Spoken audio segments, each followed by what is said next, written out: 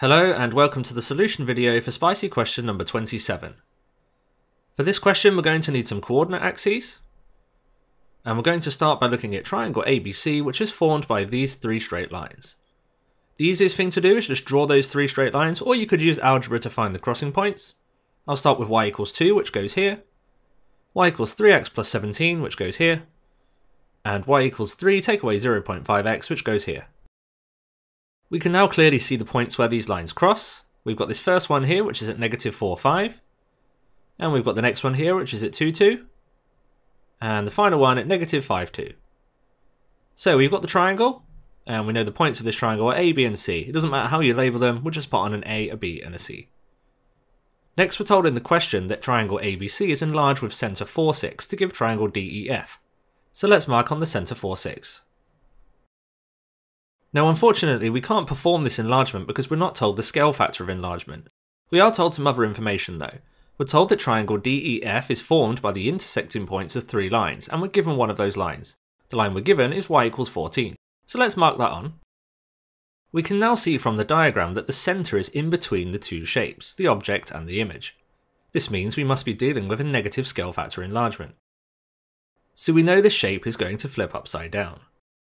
What we're going to do next is draw on some ray lines going from the points B and C through the centre of enlargement. So if we do that with B first, it goes like this. And if we do that with C afterwards, it looks like this. Since we know the shape is going to flip upside down, the horizontal blue line there, y equals 14, must correspond to the line BC. So we now know where the points B and C are going to map to. It will be the intersection of the ray lines and the blue line, so these two points here. We just need to find one more point. Now if you look at the length of the line from B to C, and the length of the line between the two new points we found here, you can see it's doubled. So we now know the scale factor of enlargement is negative 2. The only point we haven't mapped is the point A, so if we draw a ray line from A through the centre of enlargement like this, then we know the point that A maps to must be on this line. Since it's a scale factor 2 enlargement, it's quite easy to see that it goes here, at the point 28. So we've now found the triangle DEF. If we now draw on some more lines connecting E and D and also D and F, the question just asks us to find the equations of those two lines. Let's start with the line that goes through E and D. You can clearly see the y-intercept of the line up here, that's at plus 18. We just need to find the gradient. So I'm going to pick two nice points and draw myself a gradient triangle like this. The vertical distance here is negative 3, and the horizontal distance is 6. So the gradient is negative 3 over 6, or negative 1 half.